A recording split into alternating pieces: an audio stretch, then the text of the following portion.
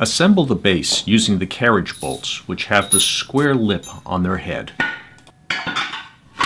Be sure that the square holes on the base post face forward. The welded nuts on the base and the base leg face the floor.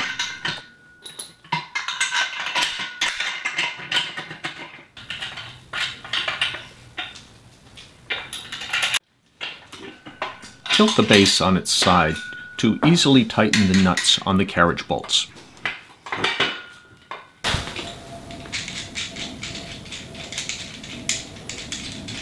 Twist the first nut all the way onto the leveling foot for easy leveling adjustment later.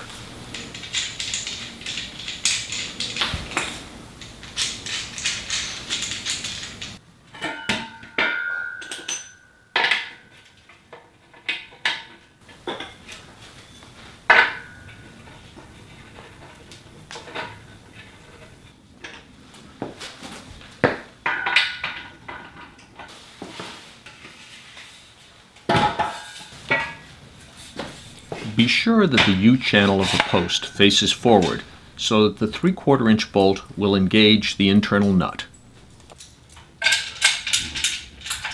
Now assemble the second base post unit. The crossbar can be assembled in two convenient lengths, 4 foot and 6 foot.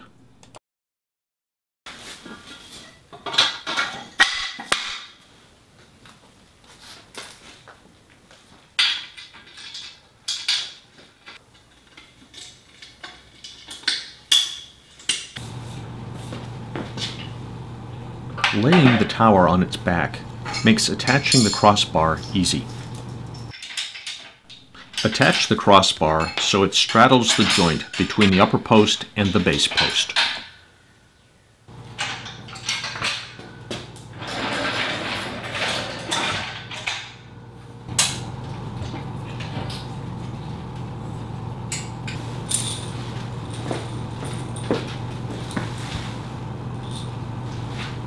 The lower arm is attached to the two lowest holes of the tower.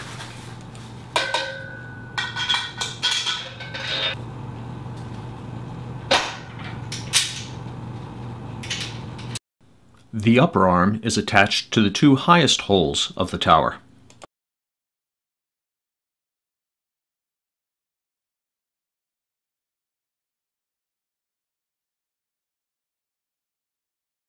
Happy paddling!